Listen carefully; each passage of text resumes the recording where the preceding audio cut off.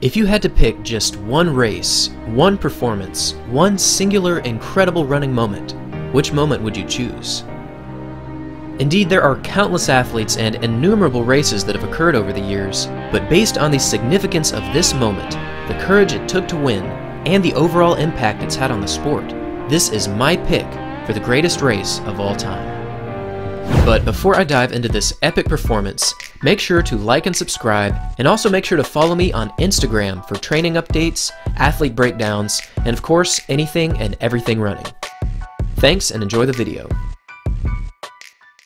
On August 24, 2004, the great Hicham El Guerrouj from Morocco entered the Olympic final in the men's 1500 meters. This one race carried extreme expectations, and the pressure on El Guerrouj to win the gold medal was unmatched. Over the previous eight years, El Guerrouj had been ranked as the world's top 1500 meter runner. Although he had won the previous four world championships in the 1500, he had been unable to win the gold medal in the Olympics in both 1996 and the year 2000. In 1996, with one lap remaining, El Guerrouj fell to the ground after making contact with Noureddine Morceli of Algeria. Because of this fall, El unfortunately finished in dead last. Four years later in the 2000 Olympics, El Guerrouj was the heavy, heavy favorite for the Olympic gold. In fact, he was expected to win because since 1996, El Guerrouj remained undefeated over the 1500 meters, and during this undefeated stretch, he won two world championships and he broke the world record in the year 1998. As the 1500 meter Olympic final unfolded, El Guerrouj failed to separate himself from the closing Kenyans, and down the final home stretch, he was passed by Noah Ngeny from Kenya. Although he won the silver medal, not winning the gold medal was a huge disappointment for El Guerrouj. Following the 2000 Olympics, El Guerrouj continued to dominate the international racing scene as he won two more world championships and he continued to maintain his number one world ranking.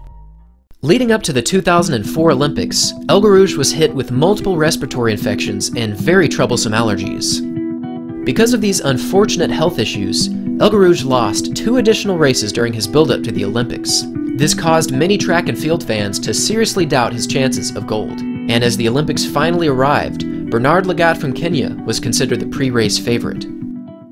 Upon starting the race, El Guerrouj was forced to the back of the pack, and during his attempts to get up front, he was all the way out in lane 3. After a very slow first lap and another 300 meters of borderline jogging, El Guerrouj made a difficult but very calculated and necessary decision. In order to beat Bernard Lagat, he knew he had to push the pace and ultimately take out the fast finishing kick from Lagat. With two laps to run, El Guerrouj took the lead and he slowly but steadily cranked up the pace.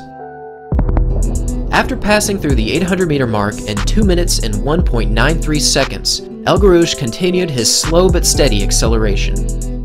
Coming down the home stretch with just over one lap to run, it didn't seem as though the last lap was super fast. However, it was actually a 55 second lap, which is very impressive because El Guerrouj made it look very easy. Now, with just one lap to run, El Guerrouj again accelerated and did everything in his power to defeat Lagat.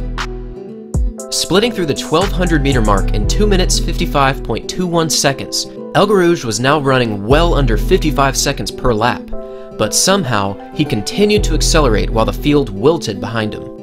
With 200 meters to go, it was now El Guerrouj versus Lagat. Still in the lead and still somehow accelerating, El Guerrouj was absolutely flying. But with 100 meters to run, Lagat from Kenya made his move, and against all odds, El who had been leading for the previous two laps, shifted into yet another gear and passed Bernard Lagat to win his first Olympic gold medal. With a stunning final 800 meters of 1 minute 46.89 seconds, El confirmed that he was the greatest 1500 meter runner of all time. This Olympic gold medal was more than just a fantastic victory. This was the story of courage, and it was the story of redemption.